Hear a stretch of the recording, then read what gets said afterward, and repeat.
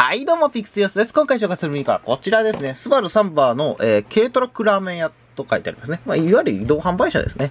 まあ、トミカなんかにもこんな感じの出ましたよね。で、まあ、ちょっと、ちょっと街外れのね、あの、おもちゃ屋さんでちょっと見つけたんですけど、今もこれ普通に売ってるんですかね。ちょっとわかんないですけど、まあ、面白いな、これと思ったんで、ちょっと購入しました。えっ、と、椅子と上りの小物付きでね、前後に走行しますのアクション。まあ、ダイヤペットなんでね、まあ、発売は吾妻となっておりますね。世界米沢ではないやつです。ラーメン屋台のトラックです。荷台を閉めているときは車として移動し、荷台を開くとラーメン屋になれます。に荷台の両扉は開閉可能です。とのこと。まあ、ちょっと開けていきましょう。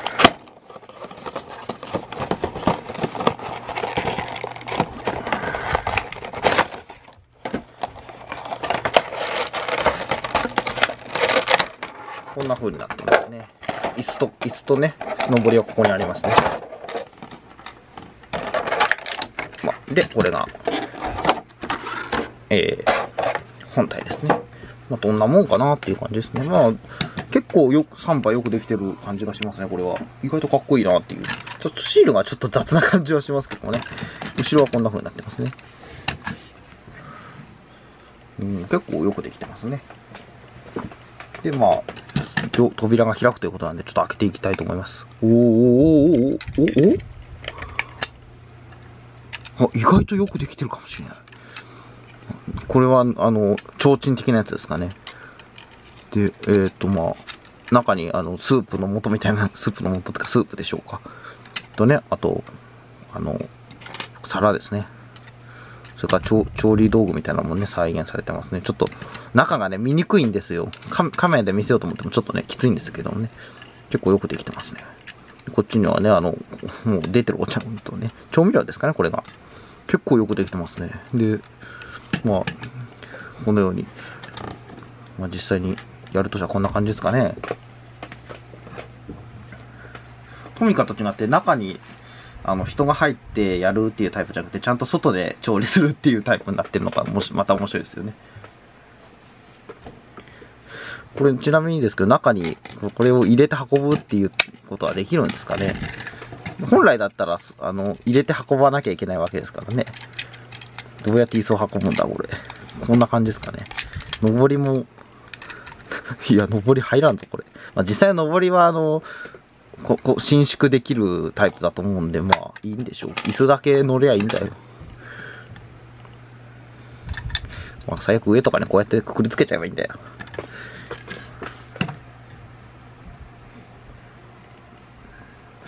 やべえ今回これで終わっちゃうぞ。いいや。いや。まあまあまあ今回のこれは結構よくできてると思いますよ。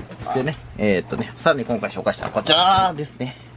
えっ、と、以前ね、あの、相模原にあるね、中古タイヤ市場で購入したね、乗り物コレクションっていうやつですね。別に、これが極端欲しいっていうわけではなかったんですけど、なんとなくやってみようかなと思って。しかもこの車の中にはパッカー車が入ってます書いてある。もう、パッカー車確定かよ。え、太いやつから発売されてますね。まあ、開けていきましょう。こんな感じですか。車を後ろ引いてから手を離すと走り出すよ。あの、ゼンマイが ゼンマイタイプか。で、えっ、ー、と、ガムですね。これ、これがまた美味しくないやつだとちょっと嫌だな。美味しいやつならいいけど。で、またクオリティがそんな高くないんだよな、この、このシリーズ。まあまあまあまあ、なんとなくね、気持ちでやったんですけどね。アクションっていう感じのはなさそうですね。で、モデルがよくわかんないですね。これまた。ゴミ収集車なんですけど。川崎市のゴミ収集車らしいですね。モデルは。もう一個なん、なんかあるんだっけ？もう一個、大、大英桜チーム西宮市。あ、後ろが開くギミックあるよって書いてあるんじゃねえかよ。本当だ、開いた。でもそんだけだな。なんかね、前と後ろのバランスがね、よ、よくない。後ろはかっこいいのに前が潰れてるような感じなんですよね。キャリー見たくなって、11代目キャリーみたいな感じですよね。なんか。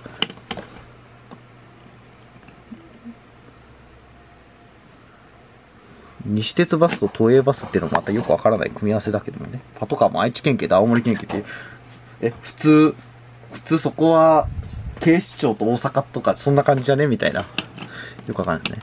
なんだろうな、これモデル。で、まあ、こうやって走ることができるみたいですね。で、まあ、ちょっと、ね、タイトルいろいろ悩んだんですけどもね、まあ、今回ちょっと、ちょっと大きなミニカーみたいな感じにしようかな。ちょっと大きな働く車のミニカーみたいな。でね、あともう一台紹介したミニカーがあるんですね。こちらですね。まあ、以前からちょっと探してたモデルなんですけどね、これは。えー、っとですね、トミカダンディ。まあ、あの、以前も何度か紹介したことあるやつですけどもね、それの、えー、コンドル化学消防車ですね。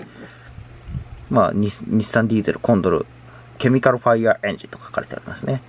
メイドインジャパン、日本製ですね。まあ、赤直灯がこう、あって、まあ、このように放水銃がついておりまして、まあ、えー、っと、ホースリールがついてますね。あの、この科学者はホースリールが昔はついてたです。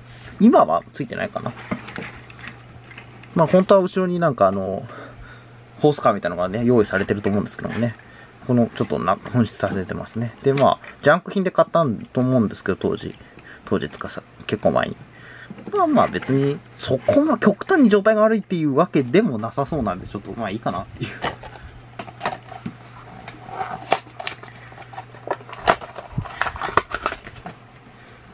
抽選で合計200名様にプレゼントって書いてあるんだよな、これ。ペーパークラフト。ペーパークラフトぐらい別に F トイズのホームページからダウンロードとかでもよくね？まあいいけどさ。で、まあ、欲しいっちゃ欲しいって思ってこれ、これ買ったんですけどね。あの、消防車だから。だけど別に紹介する機会がよくわからなくてさ。まあ今回ね、まあ大きい車みたいな感じで紹介しようかなっていう、結構無理やりな感じはしますけどね。結構ね、やっぱ止め方なんて重重厚感があってね、かっこ重厚感ですかね、重量があるんだよな、普通に。結構いいなと思いますね。まあ、トミカの110番だよな、当時の。のコントロール科学消防車を、えー、ちょっとでかくしたのがこれっていう感じですね。かっこいいですよね。まあ、箱とかついてないのがちょっと残念ですけどもね。トミカダンディね、やっぱ謎ですわ。いろんなのが出てたけど、やっぱそれを一覧で見れるみたいなのがやっぱないんで、どんなのがあったかよくわかんないですよ。カタログもなんか微妙だし。わかんないですよね。っていうか、このガム何味なんだろう美味しくなさそうな。まあ、美味しかったらごめんなさいなんだけど。こういう食玩ってね、お菓子がまずかったりするんだよね。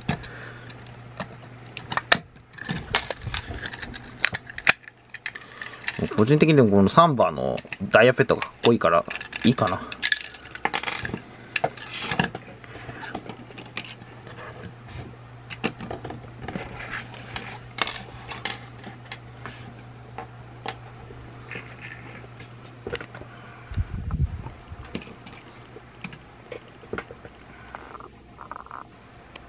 な感じ？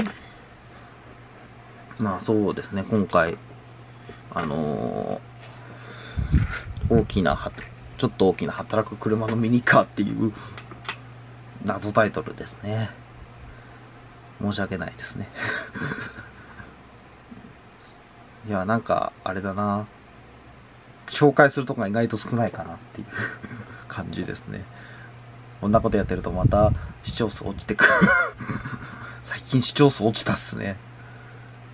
あんま気にしないようにはしてるっすけど、まあ、やりたいようにやってるから、うん、なんかでもちょっとやっぱ寂しいっすよね。3番のこれケットラ36分の1スケールなんですね。これいくつスケール？スケール。ちょっとね、文字が潰れちゃってよくわからないけど、62?62 ぐらいですかね。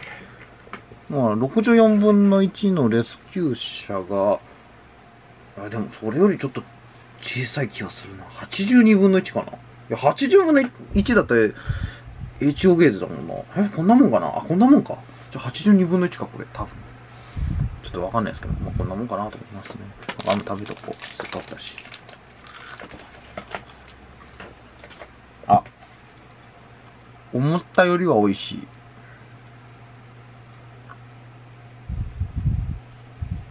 まあ、そんなわけでね、今回はこの辺で終わりたいと思います。ご視聴ありがとうございました。またみち、まあ、噛んじゃった。また次回見てください。それでは。